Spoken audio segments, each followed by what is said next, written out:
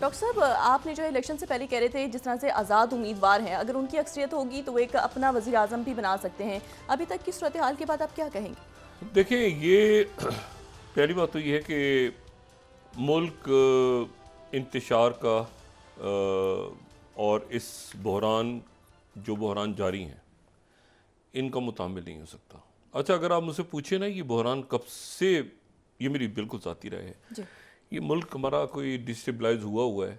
इसको आप समझें कि कोई दो हज़ार सात आठ से, कि जब बेनज़ीर भुट्टो साहबा की शहादत हुई थी तो उसके बाद से एक अदम इसकाम है इस मुल्क में। बाहर से इन्वेस्टमेंट्स आनी हैं, हुकूमतें किससे बात करनी है, कैसे करनी है, किस तरह आगे चलना है। और इस दौरान मुल्क बहुत तमाम उसके अदारे और तमाम उसमें जो आप समझ लें कि अदारों से मेरी मुराद ये है कि जो स्टील मिल को आप उठा लें या आप पी आई ए को देख लें, हर तरफ़ आपको एक डाउनफॉल और इनहतात होता नज़र आ रहा है। और वो रुपया या डॉलर्स इस दौरान कर्ज़ा लिया गया है और इस वक्त मुल्क की मीशत बिल्कुल एक ऐसी जगह खड़ी है जहाँ पे पिछली जो पी डी एम की हुकूमत जब जा रही थी तो आखिरी दिनों में अगर इस्टेब्लिशमेंट उसमें ना बरह रास्त इन्वॉल्व होती आर्मी चीफ ना इन्वॉल्व होते तो शायद वो आखिरी किस्त भी लेना एक मसला हो रहा था। और फिर उसके बाद ये केयर टेकर कैबिनेट आई और उसके शुरू के दिनों में हमने ये देखा कि जी कोई स्टेबिलिटी आ रही है, कोई मीशत जो है वो डॉलर का रेट कोई काबू में आ रहा है, कोई ये चीज़ें आ रही हैं। लेकिन ग्रेजुअली जब ये इलेक्शंस तक पहुँचने से थोड़े रोज़ पहले वो भी सारा मामला अनसर्टिनिटी अनसर्टिनिटी की तरफ़ चला गया। अच्छा इलेक्शंस के नतीजे में एक इस्तेकाम मुल्क में आ जाना चाहिए था। कोई भी जमात अक्सरियत लेती, कोई भी जमात। और वो उसके बाद एक हुकूमत साजी की पोजीशन में आ जाती। लेकिन बदकस्मती से इलेक्शंस मुल्क में मज़ीद इंतशार पैदा कर गए और वो इंतशार जो है, वो ऐसा है कि अब वो एक कानूनी शक्ल अख्तियार कर गया इंतशार यानी कानूनी एक तो होता है ना इंतज़ार के जी, सड़कों पे लोग। एक होता है कि उसकी एक कानूनी शक्ल भी हो गई तो लोगों ने वोट डाला है। कोई फॉर्म पैंतालीस लेके घूम रहा है, कोई सैंतालीस लेके घूम रहा है, कोई आ रहे हो उसके ऑफ़िस के बाहर खड़े हैं, कोई इधर खड़े हैं लोग, कोई सिक्योरिटी के अदारे पकड़ रहे हैं, कोई रोक रहे हैं, कोई अमले को तहफ़ फराम करें मुल्क तो सबका है तो मुल्क इसका मुतहमल हो नहीं सकता। अच्छा अब इसमें चूँकि ट्रांसमिशंस में बात बहुत ज़्यादा हो रही है तो मैं इसके ऊपर उन ट्रांसमिशंस में अपने जो मुख्तलि मामला हैं, सियासी मामला उन पर तो मैं बात करता रहा हूँ, लेकिन मैं ओवरऑल पिक्चर आपको बता रहा हूँ कि मुल्क इसका मुतहमल हो ही नहीं सकता। अब फार्मूले बन रहे हैं बहुत से। पीपल्स पार्टी या पीपल्स पार्टी जो है वो पी एम एल एन के साथ मिलकर बनाएगी हुकूमत, या पीपल्स पार्टी जो है वो अपोजिशन में बैठ जाएगी, या पीपल्स पार्टी अगर तो फिर वो आज़ादा रकीन कहाँ जाएँगे, जो कि जो कि पीटीआई का उसमें से एक जो है वो आज वो चले गए हैं मुस्लिम लीग नून में। लेकिन वो जो आज़ाद अरकान है वो आ, कुछ तो मेरे ख्याल से आठ या नौ के करीब नौ या दस ऐसे कुछ थे जो कि वाकई आज़ाद थे यानी वो पीटीआई के नहीं थे। लेकिन जो अक्सरियत है वो तो पीटीआई के लोगों ने वोट डाला है। तो अब उनमें से एक गए हैं। अब इशू ये है सारा कि लेकिन इसके नतीजे में जो अवाम का जो सिलसिला था, देखें, पहले किसी और अंदाज में हुआ करता था मामला। पहले वो कि जी वो इलेक्ट्रेबल चला गया इधर से उधर तो नीचे के लोग कहते थे, चलो खैर है जी, वो अब नीचे के लोगों, जो अवाम है, अवामी सतह पे वो इस बात को उन्होंने रिजेक्ट किया है। और उसके नतीजे में बड़े बड़े बुर्ज भी गिरे बड़ी बड़ी शख्सियात हार गई हैं इलेक्शंस तो लोग इसको किस तरह से देखेंगे कि जी अब इलेक्शंस के बाद एक और कंपेन शुरू हो रही है और वो कंपेन ये शुरू हो रही है कि जिसको तोड़ो उसको ये करो ऐसे करो ऐसे करो ये करो ये लाओ वो लाओ। तो उसके नतीजे में ए, ये इंतशार मज़ीद बढ़ेगा और सात कम से कम आठ लोगों का तो स्टे हो गया उनका फैसला। और सारे के सारे मुस्लिम लीग नून के नहीं है नून मुस्लिम नून के लोग पीटीआई के ऊपर भी स्टे लेकर आ गए हैं लेकिन अक्सरियत बहरहाल नून की है। तो ये अब मुख्तलिफ़ फार्मूले गर्दिश कर रहे हैं, लेकिन ये फार्मूले जितनी देर गर्दिश करते रहेंगे, उतनी देर जो है एक तो जगहसाई होगी।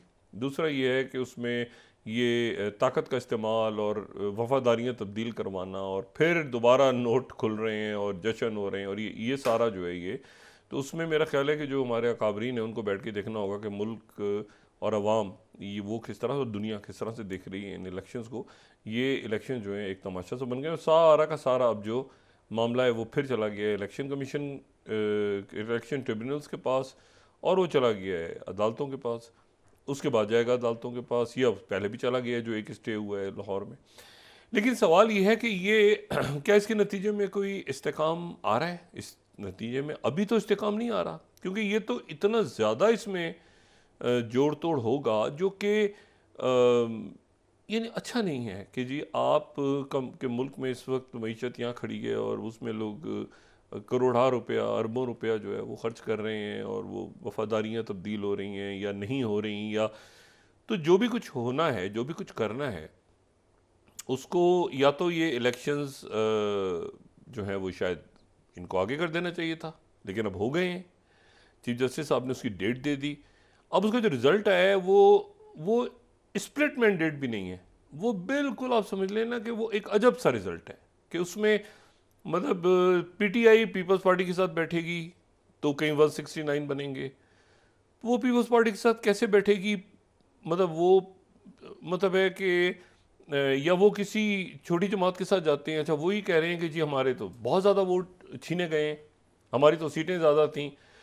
तो वो सीटें ज़्यादा थीं तो वो फैसला कैसे होगा? वापस कैसे आएगा? इलेक्शन कमीशन या अदालतें उसको वापस करेंगी। अगर वो कह रहे हैं बैरिस्टर गौर ने कहा कि हमारी तो एक सौ सत्तर सीटें थी तो, लेकिन उनकी तो जो आज़ाद अरकान है तो वो जो छीनी गई हैं तो वो फिर अदालतों की तरफ़ जाना है फिर क्या इलेक्शन ट्रिब्यूनल्स की तरफ़ जाना है? तो ये इस दौरान जो है इंतशार बढ़ेगा। और इसमें ज़ाहिर है कि जितने दिन ये बढ़ता जाएगा अब सड़कों पे भी लोग मुजाहरे कर रहे हैं। आज दिन में काफ़ी शाराएँ बंद थी। मुल्क में। और जमात इस्लामी जो है, वो भी मुजाहरे कर रही है, जमयत इस्लाम जो है, वो भी मुजाहरे कर रहे हैं। तो इसको कैसे अब संभालना है, ये हमारा सबका काम है।